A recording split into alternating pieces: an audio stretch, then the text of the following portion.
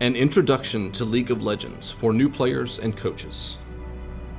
There are five basic roles in League of Legends top, jungle, mid, ADC or bottom lane, and support. The top and mid lane players play in a solo lane, meaning they are by themselves most of the time in the laning phase of the game. The top player goes to the top lane, and the mid player goes to the middle lane. Top tends to be an island in the game, all on its own. Mid lane is usually busy because players roam through it more often.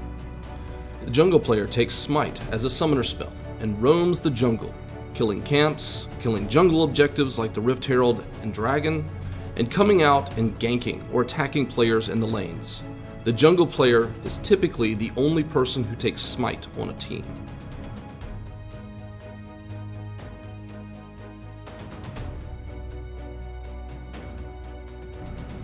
The ADC or bot lane player and the support player work together as a team in the bottom lane. The support will buy a support starting item and will generally not CS or kill minions. The ADC wants to get all of the kills on minions in the bot lane. Note, some support items require the support to occasionally get a creep kill, generally a cannon, and the gold is also sent to the ADC. Character Select Screen Options. On the Character Select screen, you have a variety of options. You can choose your champion. In the top left corner, you can choose to sort the champions by their common roles. You can sort by top, jungle, mid, bot or ADC, or support. Note, just because a character doesn't show up when you sort by a certain role, it doesn't mean it can't be played there. It simply means that it isn't common for it to be played there. At the bottom in the middle of your screen, you can choose your rune setup. There are a few default pages that can't be changed. You can also create a custom page of runes. Runes don't show up and can't be customized until your account is a high enough level. Next to the rune selection, you can choose your summoner spells. At first you don't have all of the summoner spells, but as you level, you will gain more. By level 10, you will have all of the summoner spells. Different lanes and champions take different summoner spells. Almost everyone takes Flash once you get it. Junglers must take Smite. Other laners take different spells based upon the champion they're playing, the lanes that they are playing in, and what champion their opponent is playing.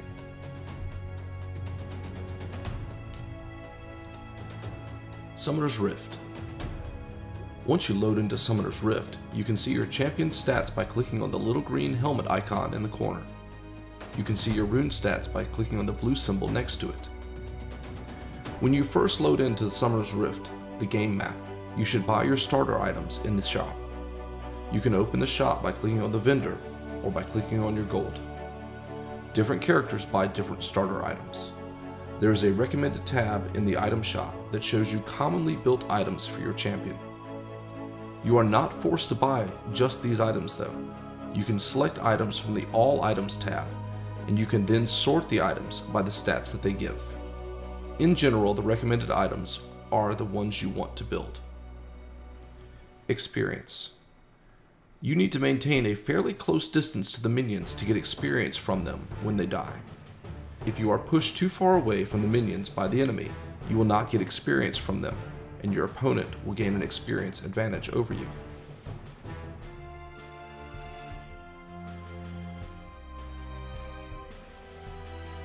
Gold. By default, you will gain some gold over time in Summoner's Rift. If you get the last hit on a minion, you will gain more. Last hitting minions increases your CS or creep score. You want to maintain as high a CS per minute ratio as you can, while still engaging the enemy and taking other objectives. More gold equals more items, and more items equals more power. Tower plates. For the first 14 minutes of the game, the towers have plates on them. Do enough damage to a tower, and you can knock off a plate. Each plate is worth 120 gold. The laning phase. During the laning phase, the top, mid, and bot lane players all typically stay in their primary lane and work on CSing minions. They can and should roam occasionally to help take objectives or support in a fight. The laning phase typically lasts about 15 minutes. However, there is no set end time to laning. Sometimes it ends because one team simply decides to all group up and push a lane. Sometimes it ends because all of the towers in a lane are taken. Eventually, the laning phase will end, and people will roam between the lanes, clearing minions and working towards objectives like the dragons, Rift Herald, or the Baron. Once the laning phase is over, group up and push or defend as necessary. Some compositions are based around split pushing, with one person in an off lane and the other four grouped up. Some compositions are based on going with a 1 3 1 split, with two split pushers and three in the mid lane. Some comps are simply based around a five person team fight, and everyone groups in one lane to push. Typically, your ADC and support will be in the mid lane once the laning phase is over. Jungle play. The jungler takes Smite, which allows them to buy the starter items for the jungle. Smite is an instant damage ability against creatures that also heals the jungler when used. Once the jungle item has been upgraded to a certain level, Smite can be used against players on the enemy team as well. During all phases of the game, the jungler is roaming the jungle, looking to set up vision with wards, clear vision with the Oracle Lens, kill jungle objectives like the Rift Herald or Dragon, or gank in lanes and help to take towers. The jungle is a very active role and can have a huge impact on the course of the game. Normally a jungler will stay on their side of the map, right or left, but occasionally in high level play, the jungle will be split with one jungler staying on the top and the other staying on the bottom. Junglers should pay attention to their camp timers, and if a camp is supposed to be up but isn't, their jungle has been invaded by the enemy jungler. The jungler needs to constantly watch where the enemy laners are and figure out when they should gank or attack a lane to help their team get a kill on the enemy team. One of the best times to gank is when the enemy is pushed up to one of your team's towers and you can come out behind them and pincer them between you and your laners. The jungle is home to several important useful creatures. There are two creatures, the red brambleback and the blue sentinel. The red one gives a buff, the Crest of Cinders, that increases life regen, auto attacks slow the target, and the enemy will take a bit of burn damage over time. The blue one gives you percentage mana regeneration, cooldown reduction, and bonus ability power. Objectives. The primary objectives to take are the towers that protect the base, the inhibitor crystals, and the main Nexus crystal itself. The next major objective is the Baron. The Baron gives you a powerful buff that you spread to your team's minions. The Baron buff is extremely useful in taking towers and pushing into the enemy base. The Baron spawns after 20 minutes in an alcove in the top side of the jungle alongside the river. It shares a spawn location with the Rift Herald.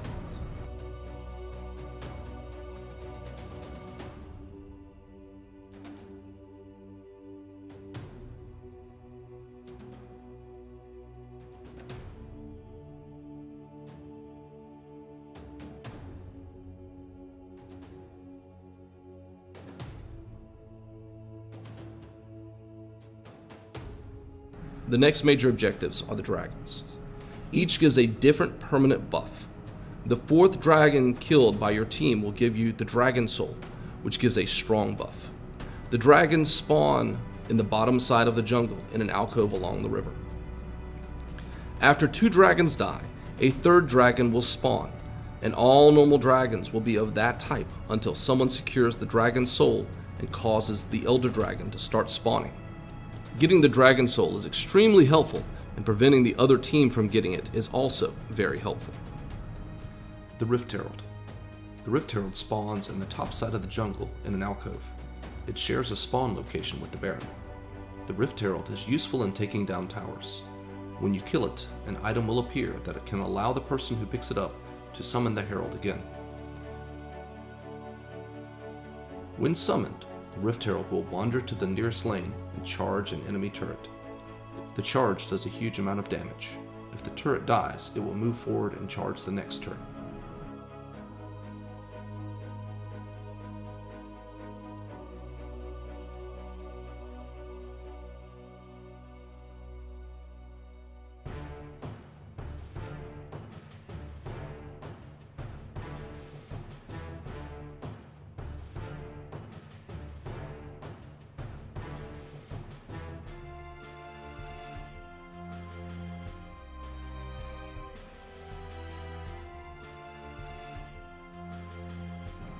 The Rift Scuttler, the Scuttle Crab.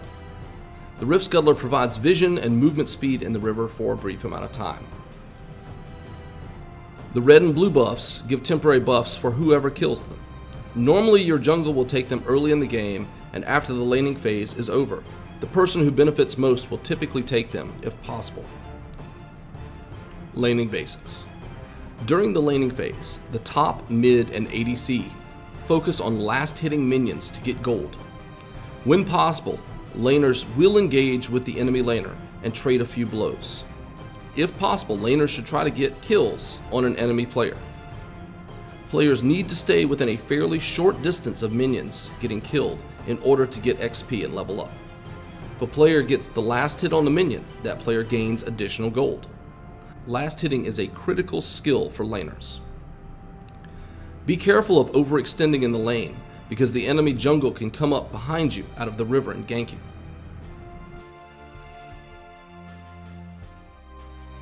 As a support, you will want to avoid last hitting minions unless you have a charge on your support item and can share the gold with your ADC from your kill. Only certain support items give gold for minion kills. Some support items give gold for landing auto attacks and spells on enemy laners. Once you gain enough gold for your support item, it will upgrade and you will be able to cast wards for vision from your support item. When this happens, upgrade your normal ward to an oracle lens and use it to clear out enemy wards. The ADC and support work in tandem during the laning phase. Vision. Vision is critical in the game. Dropping wards and clearing out enemy wards are critical in securing a win. All players are responsible for warding and clearing wards. The support player will be able to drop more wards than other players once their support item quest is completed. The jungler should clear wards as often as possible as they roam through the jungle. Roaming. Roaming is important as well. Roaming to capture objectives and back up a teammate in a fight are critical. Every role can roam, but it's a key part to being a mid laner. Top lane can roam, but oftentimes they will need to commit their teleport or TP. The minimap. Watching the minimap is vital. Knowing where the enemy players are allows you to react to what they are planning to do. Having good vision from wards allows you to have more information displayed upon your minimap. Wards come in three colors. The normal ward is invisible and provides vision for a limited amount of time.